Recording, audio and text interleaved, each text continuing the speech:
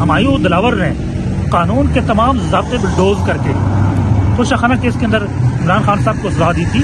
इसी तरह साइफर जज जो है, ये भी उसी डगर पे चल चुके हैं। नजम सेठी ने कहा था कि पाँच फरवरी से पहले पहले इमरान खान और शाह महमूद कुरैशी को सजा सुनाना इन्होंने तय कर दिया है। अब जैसे वकील किया गया, जो शाह साहब की तरफ़ से जिस शख्स को वकील किया गया, उसने शाह साहब के साथ बदतमीजी की। धक्के मारे शाह साहब को वहाँ। एक ऐसा वकील शाह महमूद कुरैशी को दिया गया, जो उन्हीं को आगे से उनसे बदतमीजी कर रहा है और बुरे तरीके से पेश आ रहा है। उन्हीं से जिरा करवाएगी।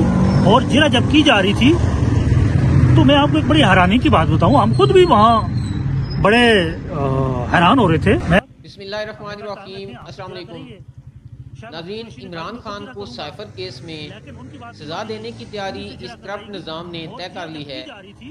इमरान खान और शाह महमूद कुरैशी के साथ जेल में कैसे नाइंसाफियाँ की जा रही हैं। पीटीआई के सीनियर वकील ने अपनी आँखों देखा हाल। जेल से बाहर आते ही पूरे मीडिया के सामने बयान कर दिया। जिसके बाद पूरे मीडिया में एक तहलका मच गया। आए पहले इनकी गुफ्तगू सुनते हैं। फिर इस पर तफसील से बात करते हैं। इस वक्त अडयाला जेल रावलपिंडी के बाहर मौजूद हूँ और इस वक्त रात के आठ बज के कुछ मिनट हो चुके हैं। आज साइफर केस की अडयाला जेल के अंदर इमरान खान और शाह महमूद कुरैशी के खिलाफ समात थी और गुजशत तारीख पे यहाँ इसमें गुहान के बयान कलम बंद कर लिए गए थे और हमारे जरा के लिए महफूज रखे गए थे।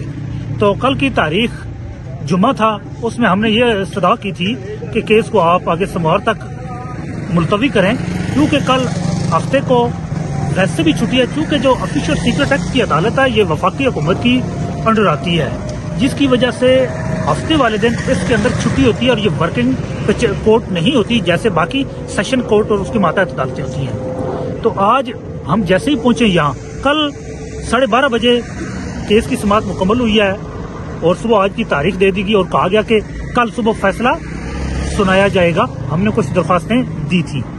अब सुबह जैसे हम आके यहाँ पहुँचे हैं तो मालूम हुआ है कि कोई दो जो सरकारी वकलाएँ उनको इमरान खान साहब की तरफ़ से और शाह महमूद कुरैशी साहब की तरफ़ से बतौर वकील मुकर कर दिया गया है। अब शाह साहब भी वहाँ मौजूद हैं, इमरान खान भी वहाँ मौजूद हैं, इमरान खान की अहलिया मौजूद हैं, उनकी बहनें वहाँ मौजूद हैं, उनके वकला, दो वकला वहाँ मौजूद हैं, इवन शाह महमूद कुरैशी के एक वकील अंदर थे और तीन वकला उनके बाहर थे। ये सारे वकला मौजूद हैं। उन्होंने दो सरकारी वकला मुकर किए और वो सरकारी वकील जो पहले ही इसी साइफर केस के अंदर प्रोसिक्यूशन की तरफ़ से प्रोसिक्यूटर्स की तरफ़ से पेश हो चुके थे हमारे खिलाफ। उनको हमारी तरफ़ से, इमरान खान की तरफ़ से, शाह महमूद कुरैशी की तरफ़ से वकील किया गया। अब जैसे वकील किया गया, जो शाह साहब की तरफ़ से, जिस शख्स को वकील किया गया, उसने शाह साहब के साथ बदतमीजी की। धक्के मारे शाह साहब को वहाँ।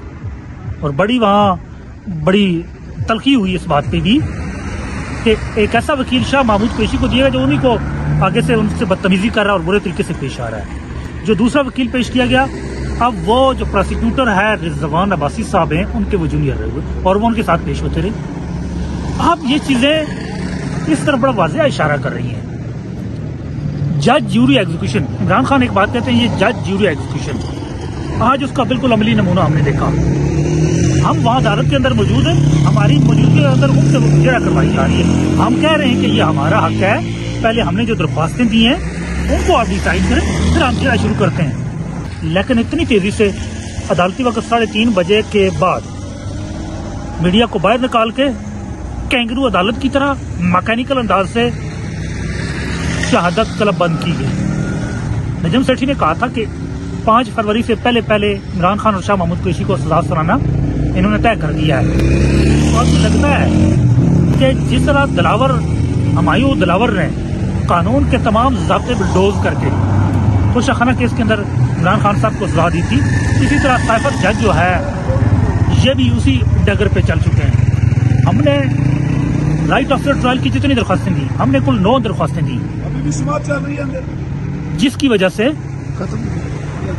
हमने नौ की नौ दरख्वास्तें जिनमें इमरान खान साहब की तरफ़ से दो दरख्वास्तें दी गई कि चॉइस ऑफ़ लॉयर की, कि वो अपने मर्ज़ी के वकील से वो जिरा करवाना चाहते हैं और वो अपने मर्ज़ी के वकील से ये केस को प्लीड करवाना चाहते हैं। और जो मुकरा मुकर की गई, उनके ऊपर हमने अदम अहतमाद किया।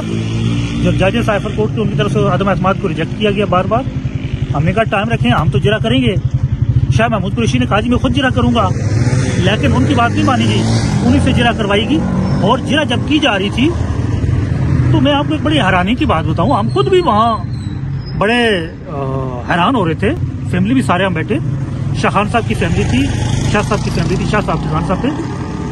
आप जो गवाह लाए गए, जिनके ऊपर हमने जरा करनी थी, उनसे दो सवाल पूछते, वो उसका भी जवाब नहीं दे पा रहे थे। तो फिर एक तरफ़ से जो प्रोसिक्यूटर वो उसके मुँह में लफज डालते और जो डिफेंस काउंसिल अपॉइंट किए जिनका काम था कि एतराज़ करते कि वो उसके मुँह में लुकमा न डालने देते, लफज ना डालने देते तो वो भी सात अल्फाज डाल देते। और जहाँ बाकी कसर रहती, वो जायजा पूरी कर देते। अब ये ऐसा लग रहा था कि ये डिफेंस, प्रोसिक्यूटर और जज साहब तीनों एक ही चीज़ है।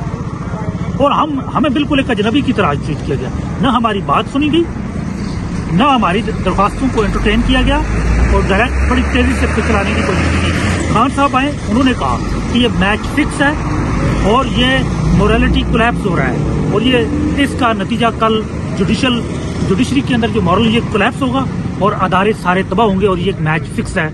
और उसके बाद इमरान खान साहब ने कहा कि रात का 11 बजे का टाइम रखें, सारे वकला हम आके जिरा करेंगे इसके ऊपर, जो जो दूर से भी वो भी आएगा। और उसके बाद खान साहब ने कहा कल एतवार कल वाले दिन रखते ये सरकारी वकला को मैं नहीं मानता, लेकिन न खान साहब की सुनी गई और मैं शाह महमूद कुरेशी की। एक कैंगरू अदालत के ज़रिए इमरान खान को और शाह महमूद कुरेशी को सजा सुनाने की तैयारी मुकम्मल कर ली। इंसाफ के आइन के कानून के जितने भी जबते हैं, वो बुरी तरह उसको वायलेट किया जा रहा है। और जुल्म के ये जबते आइन कानून को जिस तरह बिल्डोज किया गया, जिस तरह ऊपर वाले, ऊपर सुप्रीम कोर्ट के लेवल से जिस तरह जब चीज़ें बिल्डोज कर दी जाए तो फिर लोअर कोर्ट्स भी इसी तरह कैंगरू कोर्ट बन के नाइंसाफी पे मबनी फैसले करती हैं और जो अदालतें और जो माशरे नाइंसाफी पे मबनी हूँ, नाइंसाफी पे फैसले करते हूँ, वो अदालतें या वो माशरे, वो अदारे कायम नहीं रह सकते। आपने सारी गुफ्तु सुनी कि कैसे इमरान खान और शाह महमूद कुरेशी के खिलाफ बयान कलम बंद करवाए गए और फिर जब इन पर जिरा करने का वक्त आया तो पीटीआई के वकला को इजाज़त ही नहीं दी गई। और ना ही पीटीआई के वकला को टाइम दिया गया कि वो जिरा कर सकें, बल्कि हुकूमत की तरफ़ से दो वकील मुकर करके उनसे जिरा करवाई गई। इस मौके पर शाह महमूद कुरेशी और इमरान खान कहते रहे कि जिरा करने का हक हमारा है, हम खुद जरा करेंगे या हमारे वकील करेंगे। मगर इमरान खान और शाह महमूद कुरेशी की एक भी बात ना सुनी गई और जरा हकूमती वकला से ही करवा दी गई। और इस केस को जल्द से जल्द पाया तकमील तक पहुँचाने की कोशिश की जा रही है। नजम सेठी ने तो गुजशत रोज़ एक प्रोग्राम में यहाँ तक इंकशाफ किया है कि पाँच फरवरी से पहले पहले इमरान खान और शाह महमूद कुरेशी पर सैफर केस में फर्द जुर्म आयद करने का प्लान मुकम्मल हो चुका है।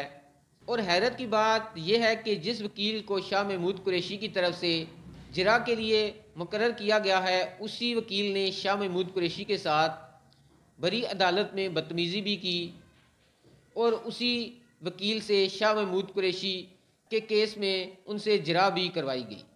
बताया जा रहा है कि साइफर केस का जज भी हमायूं दिलावर की तरह सारे काम कर रहा है और इमरान खान पर फर्द जुर्म आयद करने का टास्क इसे दे दिया गया है। नाजरीन आप साइफर केस के बारे में क्या कहना चाहेंगे, आप अपनी राय से हमें ज़रूर आगाह करें। नेक्स्ट वीडियो तक मुझे दें इजाज़त। अल्लाह हाफिज़।